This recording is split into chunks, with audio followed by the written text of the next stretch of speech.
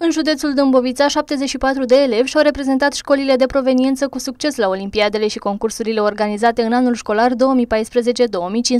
Cei care s-au calificat la fazele superioare ale acestora nu se pot bucura de vacanța de Paște în aceeași măsură cu colegilor, însă au adăugat în palmarezul personal rezultate deosebite. Dar uh, recompensa la un moment dat uh, bine și, așa cum spuneați, nu se bucură de vacanță, dar s-au bucurat și ei, s-au bucurat și părinților, ne-am bucurat și noi, pentru că în acest an avem rezultate foarte bune la olimpiadele și concursurile școlare, atât la fazele naționale, cât uh, și în faze internaționale și încă de nu am terminat sau nu s-au terminat aceste concursuri și olimpiade. Oricum, rezultatele sunt absolut uh, meritorii până acum. Astfel, la Olimpiada de Lectură și Olimpiada de Literatură au fost obținute șase premii speciale, la informatică șapte medalii de aur și argint, la fizică 10 medalii de aur, argint și bronz. La Olimpiada de franceză, șapte elevi au primit mențiuni speciale, la engleză 4, iar la biologie a fost obținut un singur premiu. Tot la fazele naționale ale Olimpiadei și concursurilor de matematică s-au remarcat 10 elevi dâmbovițeni. Uh,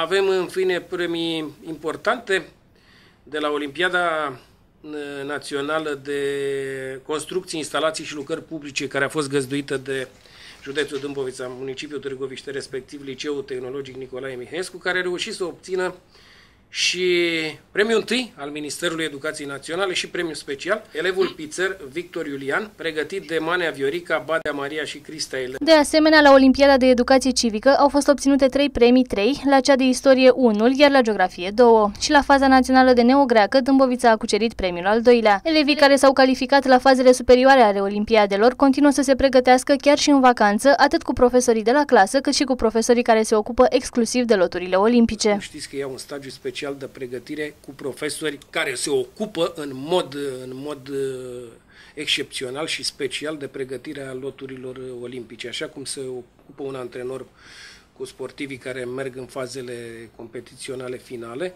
La fel există profesori care se ocupă de pregătirea loturilor naționale sau pentru loturile interna, reprezentanții României în loturile internaționale. Uh, nu au un program uh, să-i spunem, deloc obișnuit și este un program absolut intensiv, pentru că performanța se clădește nu doar pe inteligență și talent și, și prin foarte multă muncă și din partea uh, elevului categoric, dar și din partea profesorului cu, eu știu, cu sprijinul și cu înțelegerea părinților.